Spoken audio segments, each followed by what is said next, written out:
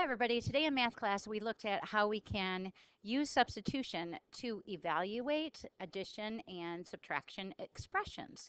So let's take a look at an example. Jenna and Allie worked together at a piano factory.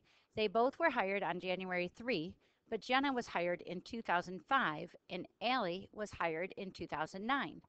Fill in the table below to summarize the two workers' experience totals. So in if we take a look at years experience and we start with Allie, um, Allie was hired in 2009. So in 2010, Allie would have one year experience.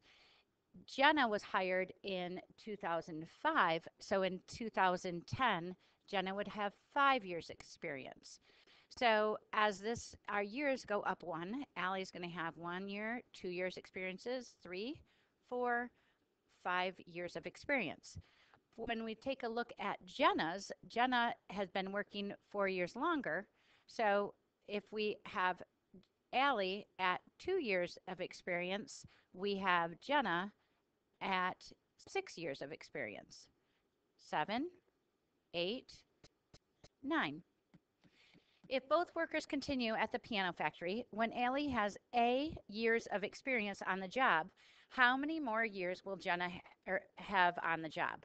Well, when we compare Allie's to Jenna's, what I would do here is I would look at this and say, if this is A, how do I find Jenna's?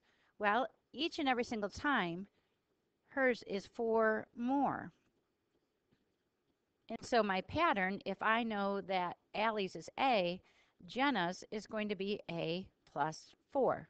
So with an expression, Jenna's will always be Allie's amount of years plus four more years. So if both workers continue at the piano factory, when Allie has 20 years of experience on the job, how many years of experience will Jenna have on the job? Well, A plus 4, when I use my substitution, A is 20 plus 4 is Jenna will have 24 years on the job. And that's how we use a chart to help us with substituting in values in an expression. I hope this helps make a difference today.